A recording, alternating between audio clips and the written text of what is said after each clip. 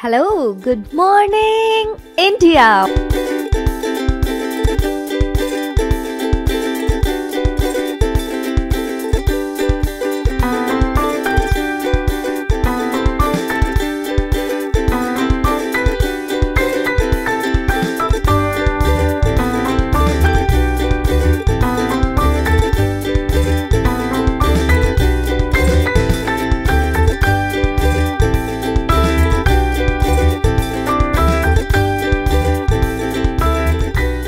Monday to Friday back to back classes live from studio आज ही subscribe करें WiFi study channel को।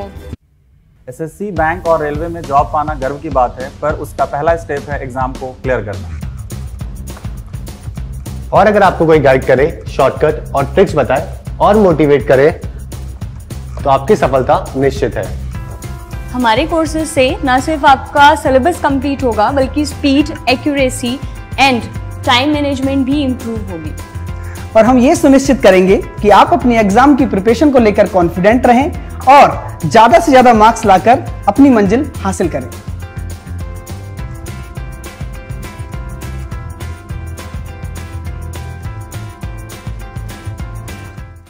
Hello.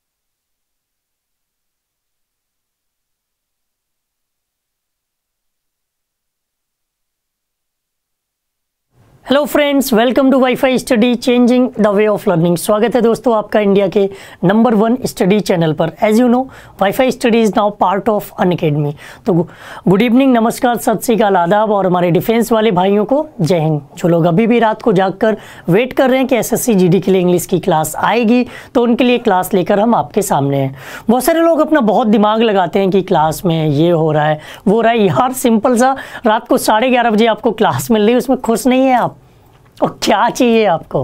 पढ़ो, मेहनत करो, आगे बढ़ो टारगेट सिर्फ़ रखो, अपना गोल सेट कर लो कि भाई हमें क्वेश्चंस चाहिए। डेली आपको क्वेश्चंस मिल रहे हैं। नोट करिए, अगर कोई डाउट रहता है तो कमेंट बॉक्स का आपका ऑप्शन होता है कमेंट बॉक्स पे लिख के आप कर सकते हो। तो गुड इवनिंग जितने भी लोग मेरे साथ जुड़ चुके हैं, जुड़े रहिए। लास्ट तक आज काफ़ी अच्छे क्वेश्चंस आपके लिए लेकर आए हैं। तो चलते हैं आज के अपने सबसे पहले क्वेश्चन पे।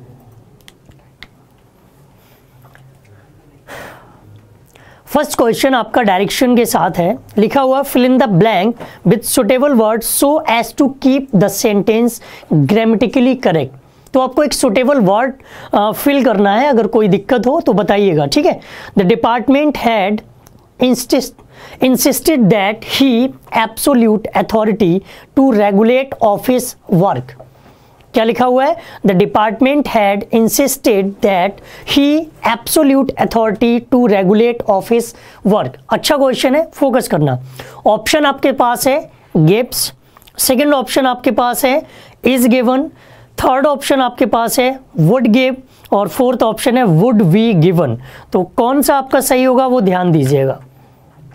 देखो आप सबको हमने एक तराजू वाली ट्रिक बताई हुई है और तराजू वाली ट्रिक के अकॉर्डिंग आप इस क्वेश्चन को सॉल्व कर सकते हो। नहीं पता है तो फिर भी देख लो। अगर इधर हमारा पास्ट है, एक क्लॉज में पास्ट टेंस का यूज़ हुआ है तो दूसरे में भी हम उसी के अकॉर्डिंग वुड के साथ वॉप की फ़र्स्ट फॉर्म का यूज़ करेंगे। क्योंकि आप जानते हो, जो मॉडल वॉप्स होती हैं, उनके साथ हम वॉप की फ़र्स्ट फॉर्म का यूज़ करते हैं। अगर इधर हमारा पास्ट परफेक्ट आया हुआ हो, इधर क्या आया हुआ? पास्ट परफेक्ट हो तो इधर भी हम वुड हैव के साथ वर्ब की थर्ड फॉर्म का यूज़ करने वाले हैं। ठीक है? अगर सेंटेंस का मीनिंग क्लियर नहीं होता है, अगर हमें रिसीवर की नहीं सॉरी डूअर की नहीं रिसीवर की ज़रूरत हो तो हम उसको पैसिव में भी यूज़ कर सकते हैं वुड वी के साथ वर्ब की थर्ड फॉर्म यूज़ कर सकते हैं। अब देखो the department had insisted that he would be given absolute authority to regulate office work ये सेंटेंस हमारा पैसिव में जा रहा है। डिपार्टमेंट हैड इंसिस्टेड तो पैसे में जा रहा, पैसिव में जाने की वजह से हम इसमें क्या करेंगे? Would be given is right option would be given okay okay? अब देखो गिफ्ट हम कर नहीं सकते थे क्योंकि ऑलरेडी मेरा एक पार्ट पैसिव पास्ट में है। इस गिवन हम लोग कर नहीं सकते थे वो, क्योंकि ऑलरेडी वो हमारा प्रेजेंट में रहता। वुड गिव अगर हम वुड गिव करते तो सेंटेंस का मीनिंग नहीं क्लियर हो रहा था। कंस्ट्रक्शन नहीं बन रही थी तो हमने क्या किया? वुड गिविंग ठीक है? Would be given now move करते हैं अपने अपने नेक्स्ट क्वेश्चन पे डायरेक्शन के साथ।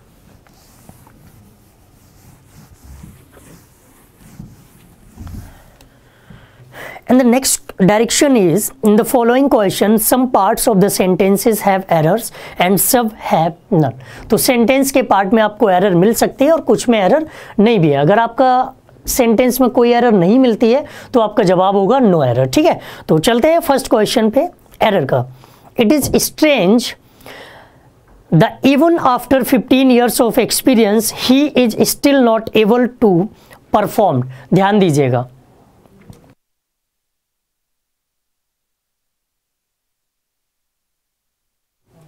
it is strange that even after 15 years of experience, he is still not able to performed और बहुत ही आसान क्वेश्चन है। जीडी में इसी लेवल के क्वेश्चंस आपको देखने को मिलेंगे। आप सब लोग जानते हो कि जनरली टू के साथ हम वर्ब की कौन सी फॉर्म यूज़ करते हैं? टू के साथ हम फ़र्स्ट वर्ब की फ़र्स्ट फॉर्म यूज़ करते हैं। टू के साथ क्या यूज़ करते हैं? वर्ब की फ़र्स्ट फॉर्म और ये हमारा कौन सा केस होता है? इन्फिनेटिव क्या होता है? इन्फिनेटिव तो आप देख पा रहे हैं, जो आपका दिया गया सी पार्ट में टू परफॉर्म्ड वो गलत है। क्या गलत है? टू परफॉर्म्ड गलत है। रीजन क्या है? क्योंकि टू के साथ हम बेस फॉर्म यूज़ करते हैं तो सही जवाब होगा टू परफॉर्म सही क्या होना चाहिए? टू परफॉर्म सही होगा। बड़ी आसानी से फाइंड कर सकते हैं। Next question sir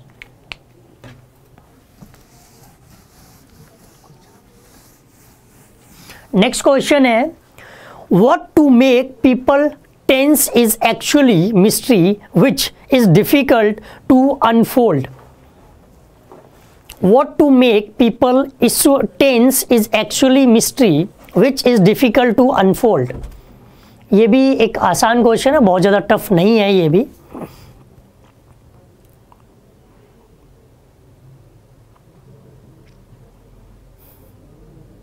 जो लोग देर से जुड़ते हैं, उनका भी स्वागत है क्लास में। पढ़िए, मेहनत करिए और आगे बढ़िए, ठीक है? तो देखो, हमेशा याद रखो, जब भी हम व्हाट को सब्जेक्ट की तरह यूज़ करेंगे ये बड़ा इंपॉर्टेंट रूल है। बहुत ही इंपॉर्टेंट रूल है। जब भी हम व्हाट का सब्जेक्ट की तरह यूज़ करेंगे व्हाट अगर हमारा सब्जेक्ट है तो उसके साथ हमेशा हम सिंगुलर वॉप का यूज़ करते हैं। अगर वॉट हमारा सब्जेक्ट है तो वॉट के साथ हमेशा हम सिंगुलर वर्ब का यूज़ करते हैं, और सिंगुलर वर्ब का मतलब है वेस वर्ब सिंगुलर वर्ब का मतलब क्या है? वेस फॉर्म ऑफ़ वर्ब ये बात याद रखना, जिनको नहीं पता है, वो अपनी कॉपी में नोट ज़रूर करना। हमने कई बार आपको बताया कि वन लाइनर नोट्स आप बनाया करें। तो वेस फॉर्म ऑफ़ द वर्ब्स क्या हो जाएगा? वेस फॉर्म का मतलब क्या है? कि जैसे प्ले लिखा हुआ है, इसका सिंगुलर क्या हो जाएगा? प्लेस ये याद रखना। तो टू वगैरह आपके साथ यूज़ नहीं होगा। इन्फिनेटिव यूज़ नहीं करेंगे तो यहाँ क्या होना चाहिए था? वॉट मेक्स होना चाहिए? क्योंकि वॉट को अगर हम सब्जेक्ट के अकॉर्डिंग यूज़ करते हैं तो वॉट के साथ हमेशा हम सिंगुलर वॉप का यूज़ करते हैं। ऐसा हमेशा होता है। वॉट का अगर यूज़ हम सब्जेक्ट के अकॉर्डिंग करें तो वॉट के साथ हमेशा सिंगुलर वॉप का यूज़ करते हैं। ठीक है? Next question sir and the next question is और ये है आज का question of the day next question ही आपका है. क्वेश्चन ऑफ़ द डे सबसे इंपॉर्टेंट क्वेश्चन आज का. क्वेश्चन है, though the award ceremony was organise by the sports authority the players neither found it encouraging nor interesting though the award ceremony was organise by the sports authority the players neither found it increasing nor interesting अच्छा question है। थोड़ा सा अपने आप को time दीजिए और इस क्वेश्चन का जवाब देने की कोशिश करो।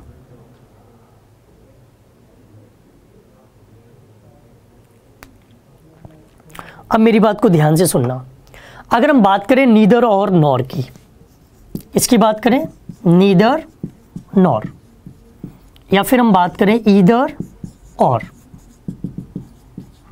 not only but also.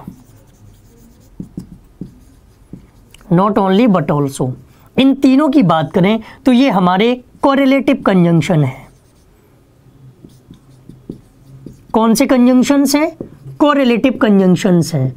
और इनके साथ जो पार्ट्स ऑफ़ स्पीच यूज़ होता है, जो कंस्ट्रक्शन यूज़ होता है, वो दोनों में सेम होता है। मतलब नीदर और नॉर ईदर और नॉट ओनली बट आल्सो इनके साथ सेम कंस्ट्रक्शन यूज़ होता है। अगर नीदर के बाद वॉब आई है तो नॉर के बाद भी वॉब चाहिए। नीदर के बाद अगर हेल्पिंग वर्ब आई है तो नॉर के बाद भी हेल्पिंग वर्ब चाहिए। इसी तरह ईदर और नॉट ओनली बट ऑल्सो में करते हैं। अब देखो नीदर के बाद क्या आया हुआ है? फाउंड ये क्या है? वर्ब लेकिन नॉर के बाद क्या आया? इंटरेस्टिंग एडजेक्टिव गलत हो गया ना? ठीक है तो इसको आप सही बनाओ तो ये क्या हो जाएगा? Found it neither encouraging nor interesting इसका कंस्ट्रक्शन क्या बनेगा? सही कंस्ट्रक्शन ध्यान रखना। हमेशा याद रखो नीदर के बाद जैसा वर्ड यूज़ होगा, वैसा ही नॉर के बाद भी होना चाहिए। तो ये हो जाएगा found it neither encouraging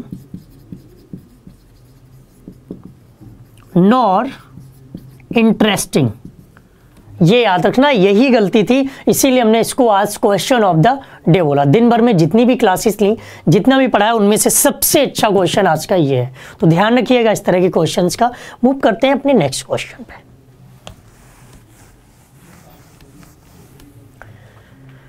And the next question is since their argument jake and kenny have not found, have not been in speaking terms, since their argument Jake and Kenny have not been in speaking terms अक्सर ऐसा होता है हम लोगों की life में कि अगर किसी से हमारी आर्ग्यूमेंट हो गई, बहस हो गई, कोई बात हो गई तो सबसे पहले हम लोग बात करना बंद कर देते हैं। ये बाहर की दुनिया में बात करना बंद और घर में खाना खाना बंद।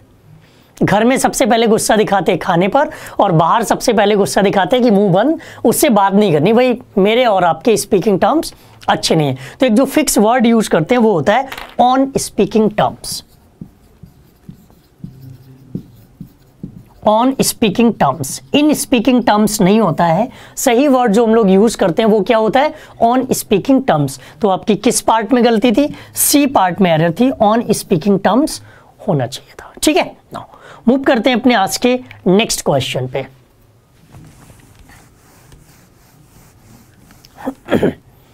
And the next word is give one word substitute one word substitution का क्वेश्चन है, और ऑप्शन क्वेश्चन आपका one who is recovering from illness एक ऐसा पर्सन जो अपनी बीमारी से रिकवर कर रहा हो, सही हो रहा हो। तो कॉन्वलेसेंट फ्रेजाइल इंसॉल्वेंट इनकॉरिजिबल चार ऑप्शन आपके सामने हैं। अगर हम डी ऑप्शन के सबके मीनिंग की बात करें डी ऑप्शन का मीनिंग अगर देखें तो उसका मीनिंग होता है जिसे सही ना किया जा सके। जिसे सही ना किया जा सके। ये आपका हो गया इनकॉरिजेबल अगर हम सी ऑप्शन की बात करें तो सी आपके सामने दिया गया है, जो दिवालिया होता है। जिसके पास एक भी फूटी कौड़ी ना बची हो, ठीक है? बी ऑप्शन की बात करें तो बी ऑप्शन का मतलब होता है जो आसानी से टूट जाए। शुद्ध हिंदी में से कहते हैं भंगुर, ठीक है? जो आसानी से टूट जाए। तो जब तीनों ऑप्शन नहीं है it means A option is right जो बीमारी से रिकवर कर रहा हो रिकवर फ्रॉम हेल्थ ठीक है? अपनी हेल्थ में बीमारी से रिकवर कर रहा हो, उसके लिए हम यूज़ करते हैं ए ऑप्शन ठीक है? बाकी के मीनिंग भी हमने आपके सामने लिख दिए हैं। Next question sir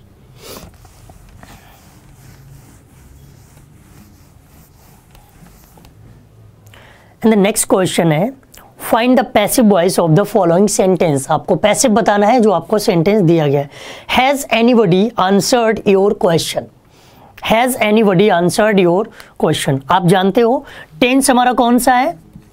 present perfect present perfect जब इसका हम पैसिव बनाएँगे तो पैसिव में इसकी स्ट्रक्चर क्या होती है? हैज़ या हैव के साथ हम वीन का यूज़ करते हैं और बाप एक बात तो आप जानते ही हो कि पैसिव मीन्स वर्ब की थर्ड फॉर्म पैसिव का मतलब क्या है? वॉप की थर्ड फॉर्म तो क्या हो जाएगा? Has your question your question आपका सिंगुलर होगा तो सब्जेक्ट वॉब हमारी हैज़ ही रहेगी. हैज़ योर क्वेश्चन फिर लाएँगे हम किसको? विन उसके बाद जो आपकी वॉब दी गई है, वो क्या हो गई? आंसर की थर्ड फॉर्म क्या हो जाएगी? आंसर्ड क्या हो जाएगी आंसर्ड इज़ राइट ऑप्शन ठीक है has your question been answered is right option clear now move करते हैं अपने आज के नेक्स्ट क्वेश्चन पे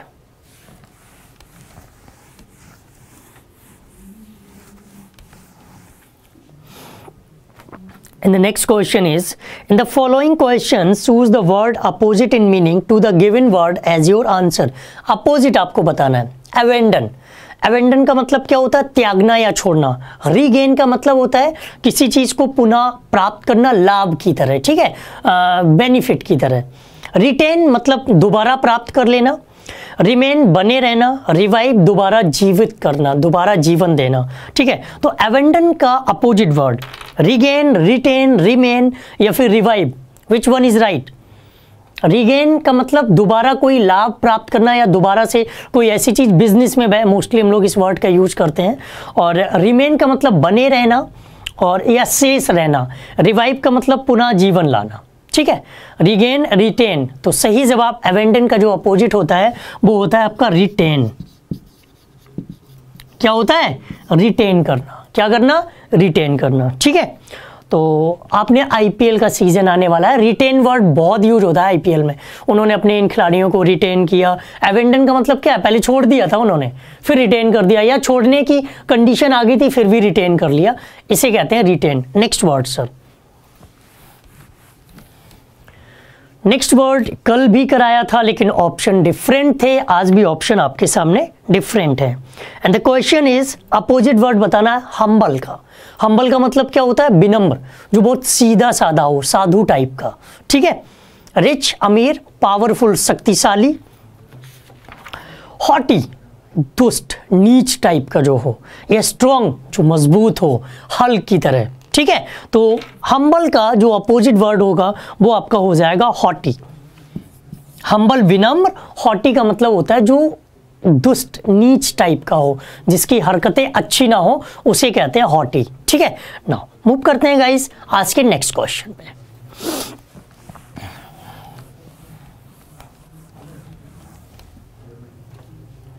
And the next question is In the following questions, there are four different words out of which one is correctly spelled. Correctly spelled वाले question. और पहला आपका ऑप्शन है पजेश पजेश में से आपको बताना कि कौन सी स्पेलिंग सही है। P O S E double S P O double S E double S P O double S E S या फिर P O double S U S तो पजेसिव केस आपने पढ़ा हुआ है अधिकारवाचक। ठीक है? तो पजेस की जो सही स्पेलिंग होती है, वो होती है P O double S E double S meaning होता है ऑन या हम कह सकते हैं अधिकार। क्या कह सकते हैं? ऑन या फिर अधिकार। तो सही जवाब आपका होगा, पजेस की स्पेलिंग देख लो बी ऑप्शन इज़ राइट और आपने पजेसिव केस पढ़ा हुआ है, जिसकी स्पेलिंग क्या होती है? P O double S E double S I V E possessive case ठीक है? अधिकारवाचक। क्लियर नाउ मूव करते हैं अपने आज के नेक्स्ट क्वेश्चन पे।